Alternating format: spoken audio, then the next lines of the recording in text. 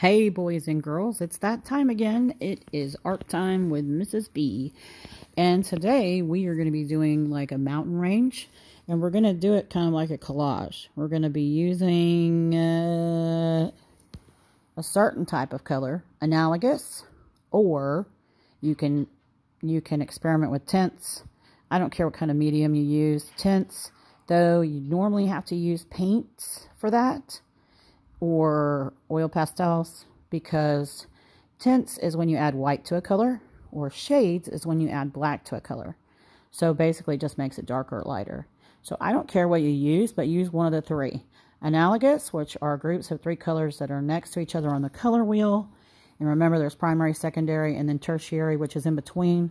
So you would probably be using one of each if you were doing analogous colors. But you need to look that up. I was going to show you one, but, you know, I forgot to look it up. But anyway, so I could show you like a picture. So the way you're going to start is you're going to need three or four pieces of paper. And I am using, um, I'm going to show you this for a minute. I'm going to take this away. I am using white paper, okay? Just regular white, like computer size paper. It's in a sketchbook. But do you see these mountain ranges that I drew? Right now, they definitely look like mountain ranges. So I went from the bottom, I went a little far up, and I kind of made it wavy like a mountain range. Then I did the second one, and then I did the third one because I still had room at the top to make like a, a low one. Now, these are going to be cut out. So when you color them, you're going to start with the bottom. And let's say you did like I do. I used all purples, okay? And I added some black to mine. So basically they're shades of purple. Plus just plain old different colors of purple. I use crayons. So I colored this whole mountain range in. Okay. But when I came to this one, I definitely want this line, right, for the mountains. So what I did was I took the next purple I was going to use, like a lighter purple or a medium purple, and I made a line as close as I could get it with my crayon to the tops of this one right here. And I went across. And then I just colored in with my other purple all the way to my little line. But I don't color down to the mountain because we're going to cut these out. Okay. So I just kind of gave myself an easy line across. So it looks like this. Okay. Here it is. You see it? Let's pretend like I didn't draw that other piece. This is the bottom. I drew all the way to the bottom. Let's say this one was the next one. Whoops. Nope. Let's say this one was the next one. See, I just kind of made a straight line. I would get it as close as I could to that mountain. Woo, not like that. Right there. And I would color it. And then maybe if I had room for one more like that one up there, I would color it almost all the way down to this mountain, straight across at the bottom. And then I cut them out. And they're going to look like this. Okay. It's okay if they're not perfect. You just want this mountain range top. And I'll show you why in a minute because we're going to overlap them or overlay them or whatever you want to call it. So after you color them, you're going to cut out your mountain ranges. And they're going to look like this. Okay. And actually, before you cut them out, you want to take a black marker and outline them. So over this line, so I'm kind of backtracking here. You're going to want to do a very thick black marker line or black crayon line. And then color in your purples or your greens or whatever it is you're coloring with, okay? so when you're done with that and you have them cut out, you're going to have some really cool pieces left over that look like this. This is where I cut them out, okay? Not this one, obviously, but this white one, okay? This is just a cutout piece. Well, guess what? Can I use that? I think so. If you turn it around, it really does look like a mountain line, and so you can use this one.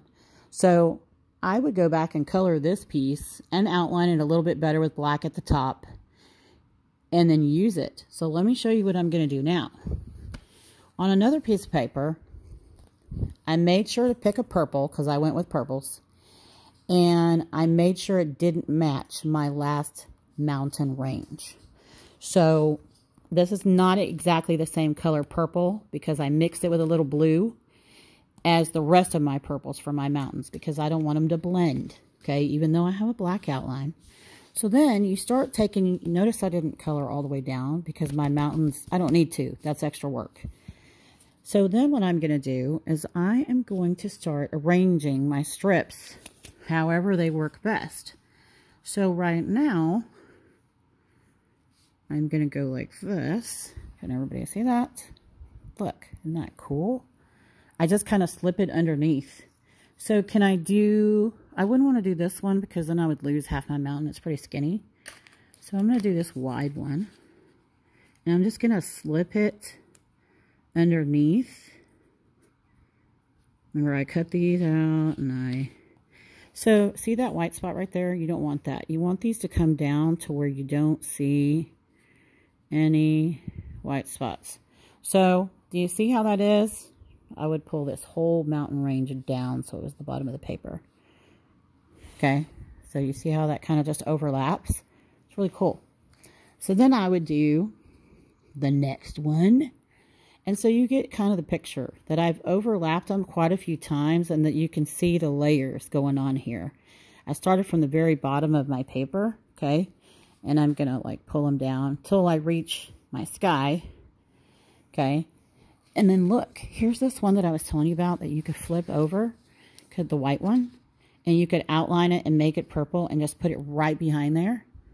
So it sticks out right now, but you could color it and put it however you wanted it to, and it's kind of interesting. You just want to make sure that this last one that you do is not too close to this color, okay, so they don't blend. But anyway, once you get them the way you want them, and you can play with it. Like if you want to swap them out and put one right here, you know, and another one behind it like this one, you can do that. But you're going to glue them down, okay, on top of each other, right on this paper that you colored, where you colored half of it. See, there's my black mark because I'm goofy and was outlining with a black marker. But you want a thick black line, thicker than mine probably.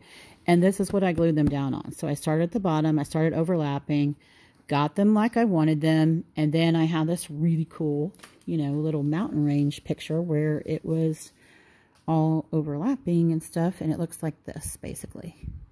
So you just have to work with them a little bit. I have one hand because the other hand's holding the camera, so it's really hard to arrange these but I think you get the idea. So step one, you are going to draw your mountain ranges. Step two, um, I would say go ahead and outline them in black, which means trace over your pencil lines. Step three, you're going to color them in your different shades or tints or paint or whatever you're doing to them. Um, I picked purples.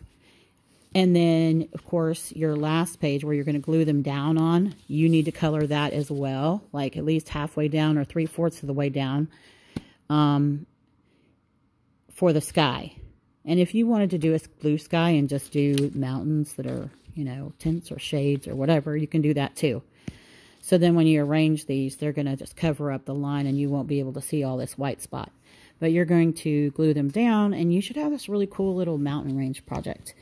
And um, that's basically it for today. I just wanted to show you that. This is a mess because I only have one hand, but you get the picture. Um, these were some of the ideas for colors, and that's about it. Thanks for tuning in, and pretty soon we'll be making a sculpture out of paper, so tune in for that one. Bye.